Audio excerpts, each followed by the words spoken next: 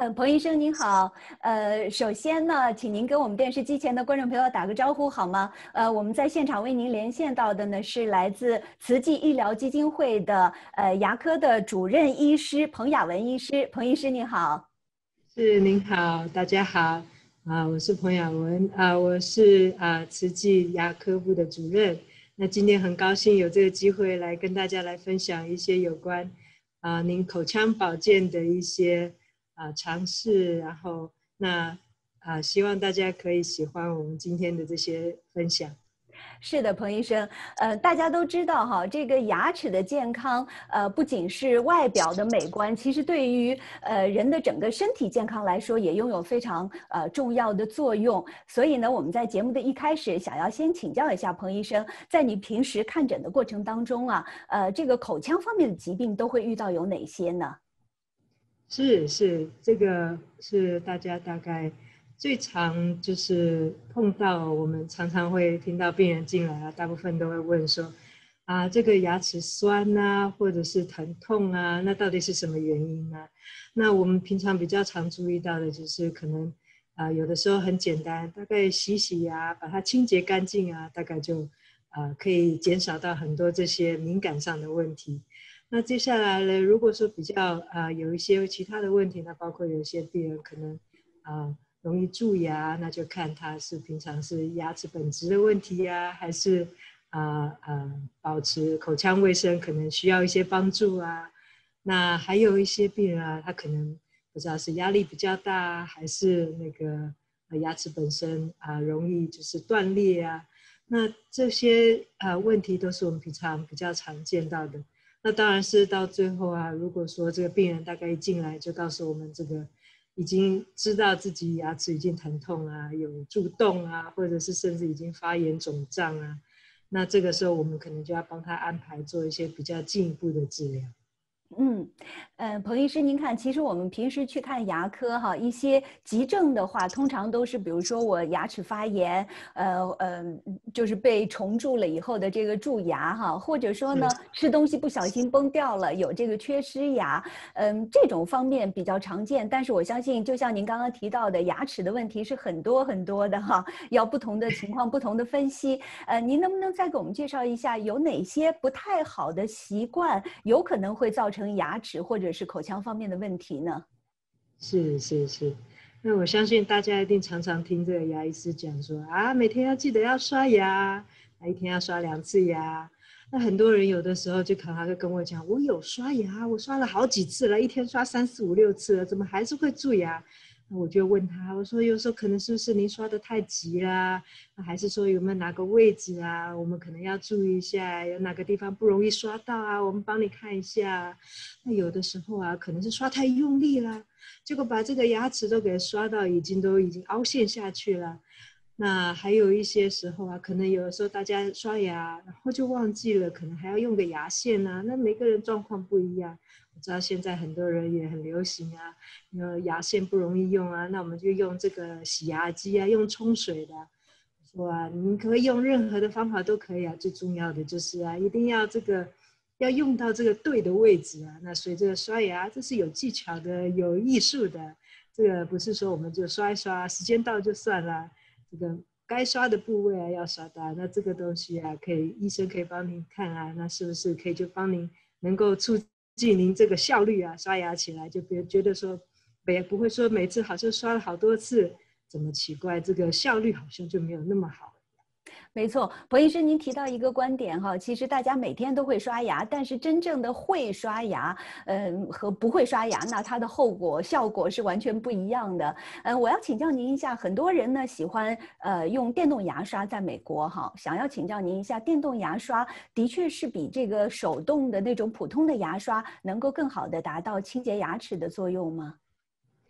这个是一个非常好的问题，我们常常也是会听到很多病人会问同样的问题，特别现在这个广告打得很凶啊，那很多地方也常常会在促销。那这个问题啊，其实解决到根本上啊，就是刷牙，我们刚刚有提到说，主要是这个刷的位置的问题啊，跟这个效果的问题。那所以如果说呃您这个牙刷能够放在这个正确的位置。然后让该刷到的地方都有被刷到的话，那这个不管是用手动或是电动哦，它都有很好的效果。那另外一个就是哦，有些人会觉得说用手动啊，好像效率上没有那么高，因为这个电动好像你看这电动它这个速度这么快啊，一分钟可以刷这么多次啊，那一定是刷的比较好。那如果说这个电动的牙刷能够帮助您啊，您觉得刷起来比较舒服啊，也比较干净啊。那我觉得啊，只要是能够用，总比这个牙刷放在桌子上好。所以，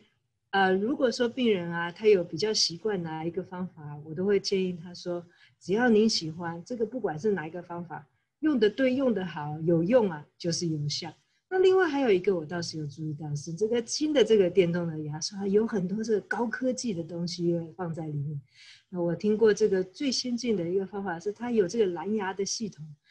它这个您刷过的地方啊，它在这个用这个 app 上面啊，可以告诉您哪里刷到，哪里没刷到，或哪儿刷比较重，哪刷比较轻。我是觉得这方法蛮好的，因为它给你一个这个互动，所以让您可以知道说，哦，我今天刷，嗯，刷的还不错。这个昨天刷这个太忙了，太急了，一下子这个左边这边好像没有完全刷对。我觉得这个东西给病人一个教育的工具，这是一个非常好的。那当然是手动的话就没有这么 fancy 这么高级，有这么多的东西。但是手动的话，它有它的好处，因为就是您可以来决定这个手动的牙刷的大小啊，或者是力道的强度，都是您自己来决定。所以就像我刚刚说的，其实哪一个都好，只要能够拿来用，不要让它放在桌上睡觉，那这个一定可以刷得很好。没错，博医生，其实除了这个牙刷的种类以外，哈，还有一个很重要的点，就是大家使用呃这个刷牙的这个时间啊，其实也很重要。我想大部分人可能都跟我们一样，就是选择早晚刷牙，但是也有很多人呢，呃，担心吃完食物以后嘴里会有味道，或者牙齿上会留上呃这种深的牙迹，哈，没有办法清洁，所以有的人会吃完饭以后马上选择刷牙。请教一下彭医生，像这样的习惯。是不是有用呢？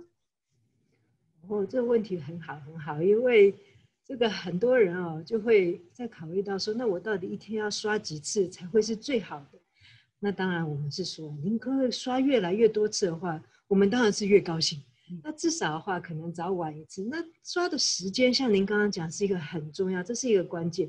这个刷牙的时间，病人每次跟我讲说，我早上起来一大早起来我就来刷牙。我说：“那您刷完牙有没有吃东西？有吃东西。那吃完东西还要再刷吗？当然没有，我已经刷过了。那所以，那您吃完的东西就放在嘴巴上面，留在牙齿上面。那这个牙刷可能它就没有真正的帮助到您在早上这一部分。那同样也是，我常常有时候有些小孩子家长会跟我讲说：有，我晚上我有帮小孩子刷牙，我每次帮他洗澡的时候，我就帮他刷牙。”他刷完牙以后，那小孩子就渴了，所以我就给他喝牛奶。我说：“那您这样子刷完了以后，牛奶又在喝了，牛奶又留在牙齿上，那所以就是这个刷牙的点很重要。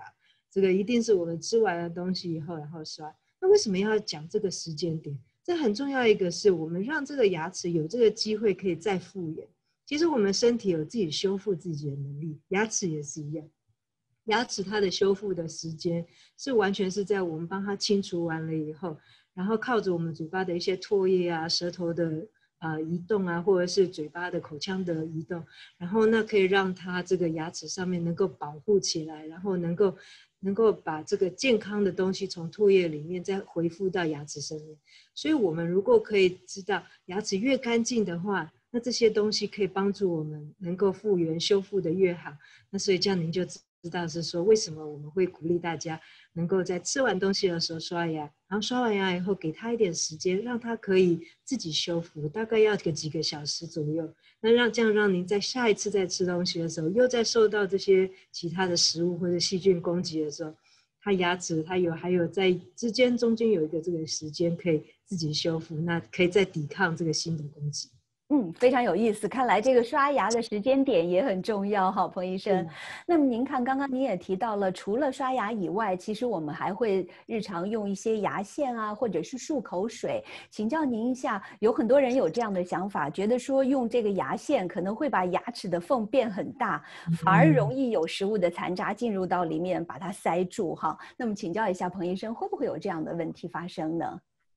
你这个问题问的太好，因为我妈妈也是这样跟我讲的。你知道我跟她讲说，很多人都有这样的想法。对对对对对。所以我每次都会问他，我说那这样子的话，那这个您的牙齿应该是会越来越松才对啊。然后我就问问他说，那您真的觉得有越来越松？好像也没有，其实它还是很紧。那我就问他说，那这样好了，市面上有很多不同的牙线，那我们来挑一个让您觉得是比较能够。呃，用牙线，然后比较方便，也比较舒服。那所以它之所以为什么市面上会有各种各样不同的，有的是片状的牙线啊，有的是很细薄的牙线，有的有味道的。那各种各样不同方，甚至有的人喜欢用水来冲。我觉得只要是重点是这个牙线它轻的位置啊，是我们平常牙刷比较不容易刷到的地方，也不管不管这牙刷多大多小的头，它都不可能是非常非常非常小。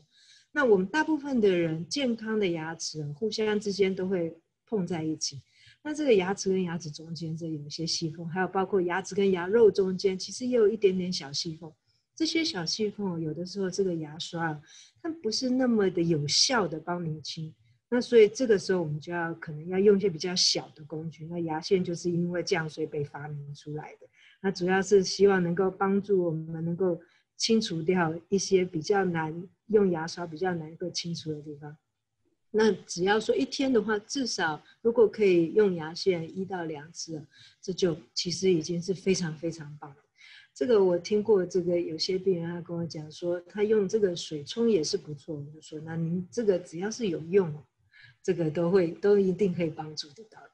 嗯，彭医生，请教您一下，其实我们还知道有这个漱口水，很多人有用漱口水的习惯哈。那么，呃，用漱口水应该怎么样更好的选择它用的这个时间，才能够让它发挥最大的作用呢？是在刷牙之前用，还是在刷牙之后用？请教您一下。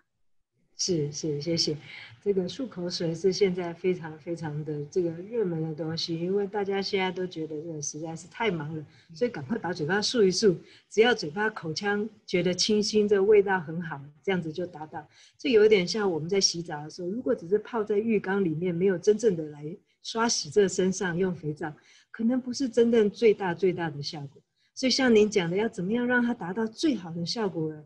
您如果可以。先刷牙，然后把一些牙齿外面的这些脏的东西先去除掉，让您牙齿能够恢复到原来正常的这个样子位置的时候，然后再用漱口水，它可以直接接触到您牙齿表面，啊，这个效果实在是非常非常好。那至于说漱口水有好多种啊，有各种各样，在市面上一整排，我每次去超市我就看又又有什么新的漱口水我可以来试。那我觉得现在大部分的一些厂商，他们漱口水都很棒。有一点倒是要大家特别去注意的，一般大人用的漱口水呢，有两种，主要分成两种，一种是有含酒精的，一种是没有含酒精的。那这有含酒精的，就是那种我们漱完了以后就会这样啊，很清爽的感觉，因为它会让您就是它的酒精在蒸发的时候，会让您嘴巴会有这种清爽感觉。那比较要小心的就是。这个有酒精的这个东西，它会让您的嘴巴这个口腔膜也比较干。那所以有些病人他本身体质关系，可能就比较容易干燥，就要比较小心，尽量要避免可能避免使用的。因为即使说我们现在在看，现在有很多科学上他们在研究说，是不是因为我们这样子的使用，然后可能会不会也。呃，造成说有可能会将来会比较容易得到口腔癌，这个到现在来讲都没有很直接的这个科学的根据，但是大家都一直有在看这些事情，当然还有其他的一些原因，包括生活的习惯、饮食的习惯。那另外，如果说没有呃这个酒精的这个漱口水，这个漱起来就比较没有那种清爽，马上马上清爽的那种感觉，但是它也有效。为什么有效？是因为其实他们这些。漱口水里面的成分其实大部分都类似，所以主要是这些成分它来去攻击这些细菌，然后让这些去抑制这些细菌的生长。那当细菌不生长了以后，你嘴巴里面就不会产生异味，那就被对您来讲的话，这个口腔就会比较干净。所以大概主要的话。一般来讲，要比较小心的，就是说看自己身体的状况来决定什么样子的漱口水。那还有另外最后还有一种漱口水，是它里面就是有含氟的。那我们知道这个牙膏里面也有含氟，那病人就会问：那漱口水为什么还要再用氟？那因为有时候啊，这个牙膏它可能不一定有碰触到你牙齿每个部分，那牙线可能也没有不一定有含氟，那这个时候水就很好用，因为这个水它就可以到各种各个小的细节里面去帮您这个在呃强化您的牙齿的本质，那这样子就比较不容易蛀牙，所以容易蛀牙的人。可以来尝试看看这个含氟的漱口水，它其实是蛮好用的，各种各样的口味都有。我们家小孩子最喜欢就是这个。Bubble gum 的口腔的，它还蛮好吃的，非常有意思。彭医生，您看哈，现在市面上的这个牙膏啊，其实也有不同的选择哈。我相信这应该不仅仅是厂家营销的一个手段哈，一定它还是有它这个每一个不同的功用的。比如说，您看刚刚提到有这种含氟的牙膏，然后还有针对敏感牙齿的牙膏，还有美白的牙膏哈。请教一下，呃，彭医生，您觉得是不是每个人其实是可以？根据自己牙齿不同的状况来选择不同的牙膏的呢？是是是是，您这个观点是非常非常的好的。那这个就像您说的，它市面上会有这么多种，那一定是有各种各样不同的需求，所以它依照不同的需求来发展出来。那所以，如果您比较容易敏感啊，有有的人牙齿比较酸，因为年纪大，可能牙肉萎缩啊，那容易酸的话，这个敏感性的牙刷的确是很有效。那就是要注意到，它既然是叫敏感性牙刷，它一定是里面有含某些成分，它是特地去为了您要不要敏感，所以它放进去的成分。那有的时候我会建议病人，如果说可以的话，假设敏感已经没有那么严重，看看要不要开始交替，例如说，哎，白天的时候用普通的牙膏，晚上用敏感性的牙膏，慢慢让自己渐渐渐渐不要这么依赖这敏感性的牙膏。那原因是因为这个任何东西，它如果有特别的用途的话，就表示它可能有某些成分，它可能是一些药物。那当然是不希望大家能够就是这么依赖这些东西。所以如果可以的话，我通常会建议别人啊试试看，然后有效了以后，慢慢就看看能不能脱离，不要使用。那当然是如果说真的不行的话，那医生也会建议。另外当然是医生，其实我们自己也有一些东西我们可以开处方的。那不过这个东西可能要医师来决定，说看哪一种处方的牙膏比较好。那再来就是这个漂白牙膏啊，现在真的是非常的流行，这特别是年轻的人好喜欢用。那因为他们每次都会问我们说啊，这个我们可不可以这个漂白牙齿？我常常就会跟他讲，这你的牙齿还在长，那如果弄漂白，漂白里面有漂白，假设有漂白剂的话，可能这个你牙齿会太敏感。于是他们就很认真的就跑去买了这些呃漂白的牙膏。那漂白牙膏啊，其实它。大家用的时候，其实不用那么担心，因为它其实里面并没有真正的漂白剂在里面。它为什么能够达到这个漂白功能呢？大部分的里面就是它有一些小的一些粒子，它比较粗一点，然后它可能在您在刷的时候，就好像我们一般那个车子在打量一样，那就把它的一些那个表面上的一些脏的东西磨掉啊，牙齿看起来就是比较白，比较亮。所以它事实上其实是没有这个，不像敏感性的牙刷是真的是有一些药物成分在里面。漂白牙膏比较没有，但是要比较小心是在用的时候，这个时候就要注意这个刷牙的力道，因为如果已经刷牙本身就比较用力，然后又用这种比较粗糙的牙膏，这个牙齿就容易被刷掉。对，有些人的牙齿有这个表面的珐琅质哦，就容易被刷掉。所以这个部分就要小心。嗯，所以用牙膏其实也是要因人而异哈，根据每个人不同的情况来看。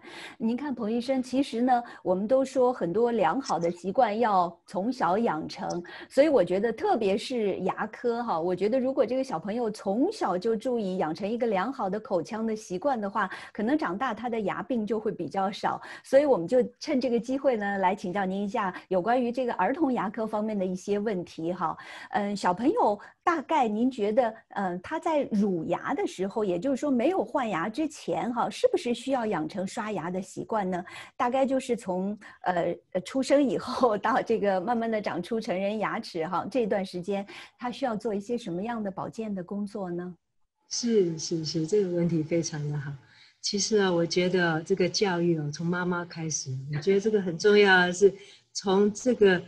帮助他的人开始，那只要帮助他的人的观念是正确的，那接下来事情都很容易。所以，我们其实在教小孩子的时候，其实会先从妈妈先开始教育。那妈妈什么时候开始教育？最好的时间，妈妈在怀孕的时候我就开始教育她。为什么要做怀孕的时候教育呢？因为其实啊，小孩子的牙齿，特别是他的乳牙，在生长的时候，其实在妈妈还在怀孕的时候就在长。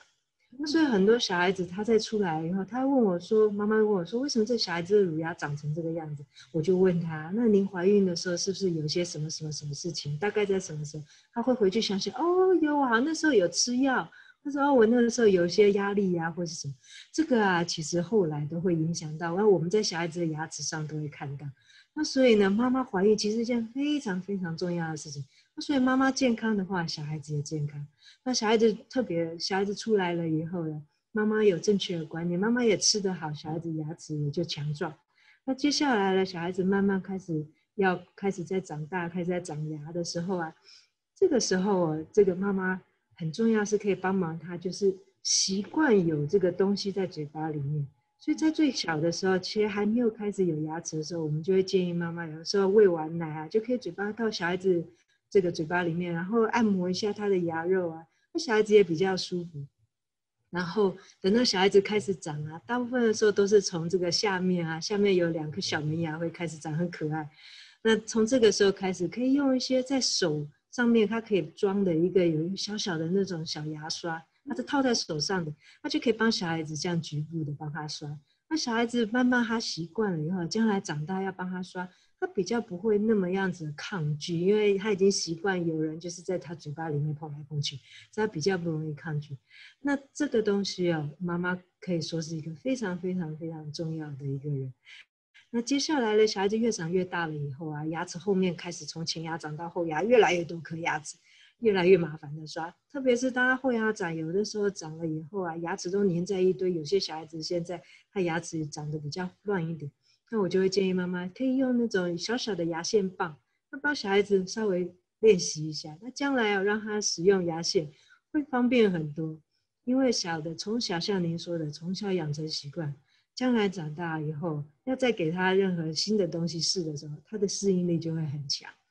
嗯，彭医生，您看哈，在这个差不多学龄前的时候哈，那个嗯，小朋友本身就是天性，可能他特别爱吃糖吧，我不知道是不是别的小孩都是一样哈，小孩都很爱吃糖，喜欢吃甜的东西，那很容易产生龋齿的问题。那嗯，通常这个学龄前，我记得是 K K one 的时候哈，大概是 Kindergarten 的时候，呃，学校就会组织小朋友呃去牙医那边做这个牙牙那个应。应该是叫牙槽沟的封闭吧，呃，所以我想请教您一下，这是不是一个必须的动作，还是只是为了图方便，让家长更方便，就是不会造成龋齿的问题？那么这个牙槽沟如果做了封闭的话，会不会给小朋友的牙齿的生长造成一定的问题呢？